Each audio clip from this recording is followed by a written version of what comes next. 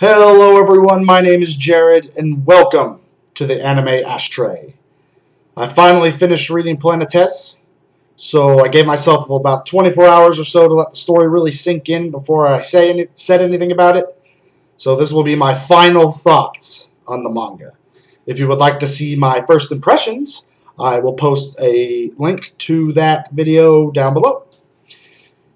So,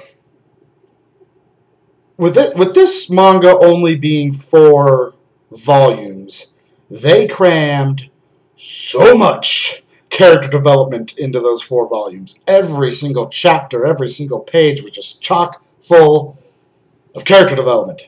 I absolutely love character development, and Slice of Life is a perfect medium for character development because that's really all it is.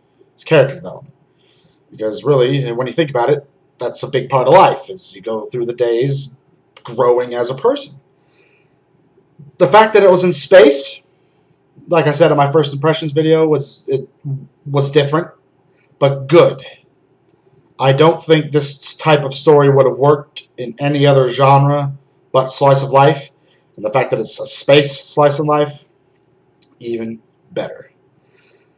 Uh, chapters, I'm not going to say anything too particular in this because I don't want to spoil it because it's so short that it's really easy to spoil.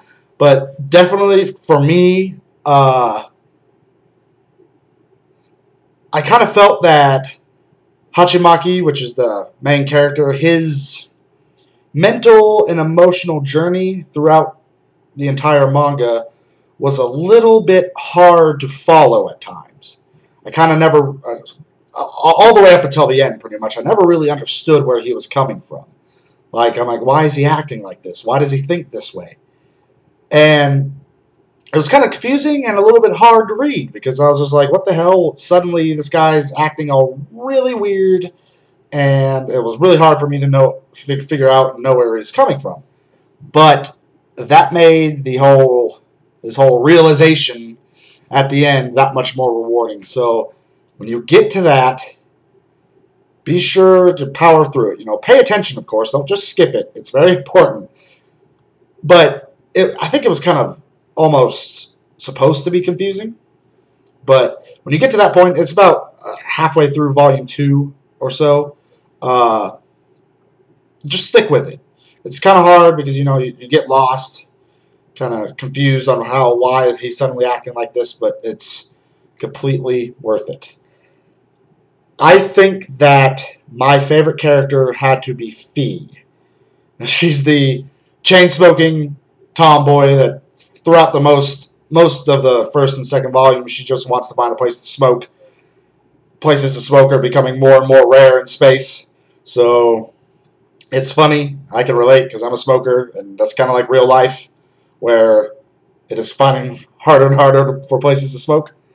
Her backstory, absolutely heartbreaking. I loved it. Uh, it made me really feel the feels. You know, it was great. I was kind of worried at first that she was going to be kind of left out because her backstory they don't really get into her backstory until the th- like halfway through the third volume or so but I, I feel that Yuri, who's another one of the main characters, his his backstory to me wasn't really fleshed out because he didn't have much of one. They kind of go into what happened to him at the, the very beginning of the manga, like the first two pages. So they get his stuff out of the way quick, and he builds as a character in the first volume. So he's basically all his character development is done and over with by the time you're done with the first volume, which is pretty cool all in all, it wasn't perfect, but it was very good. This isn't a review, so I'm not going to give you a score.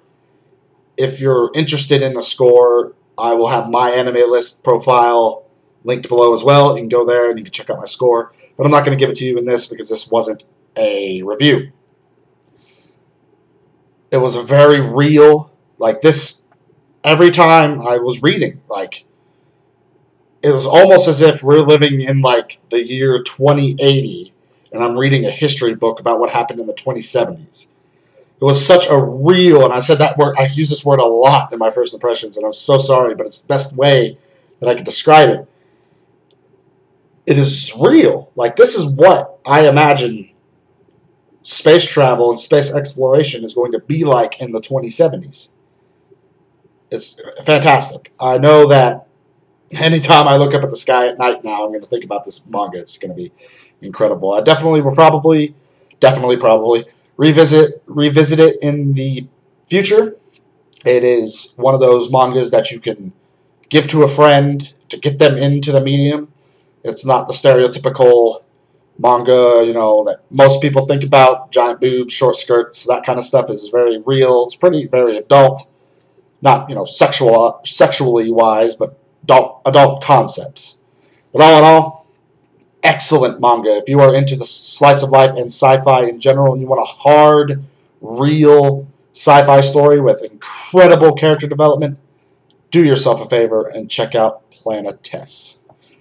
Thank you so much for watching, everyone. As always, if you want to keep up with what I'm reading, my anime list profile is down below. That's where you can check out all my scores of the anime that I read because I don't do reviews here, so I don't feel right giving a score in these videos. But check that out if you want to keep up with what I'm reading. My Twitter's below. That's where I do all my social media-ing if you want to contact me on there. And until next time, remember, if it's worth reading, then it's worth buying. Take care, everyone.